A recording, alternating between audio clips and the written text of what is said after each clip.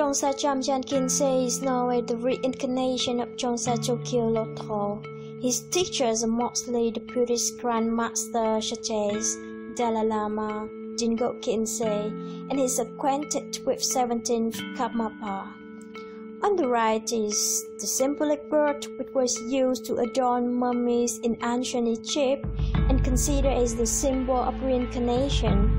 When we look at Dzongsar Jamyang Khyentse's forehead, we can see the shape of that world on it like a secret sign of recognition, but it might be just a coincidence.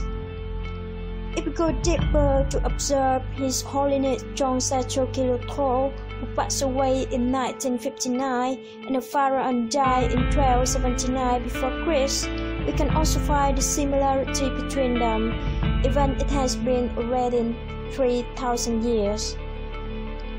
Their faith, their religion remind us of the secret of the reincarnation, or is it an accidental similarity? I couldn't be more surprised by what happened next. There are such a huge number of evidence which show the similarity between people. I wonder whether magical things really exist or people don't have enough confidence to believe in them. We embrace our fears and not to learn to know about ourselves that we never die. Death is just a transformation. However, to get all desires and the eternity, we have to change. We should learn to love all the creatures, to be kind, disciplined. Also, we should learn to live happily. The unbelievable similarities between Dzongsar Jamyang Khyentse and the artists were found in 2016.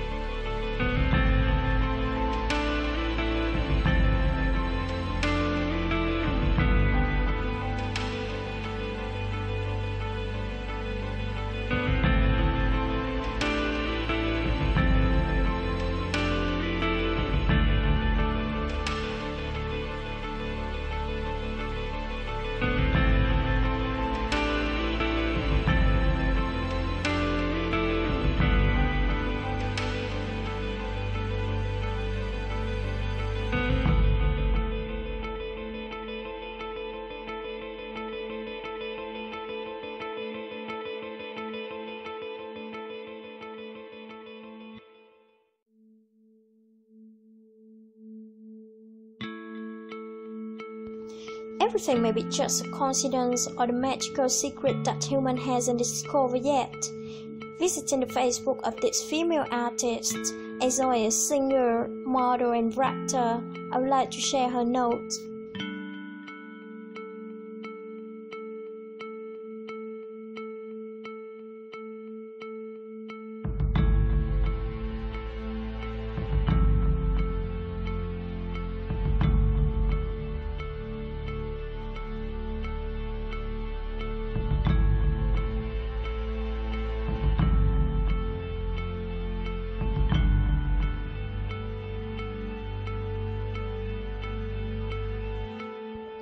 Maybe those who deeply belong to Vajradhara Buddhism, those masters, they know something that we still don't know. The things they try so hard to take everyone in all over the world.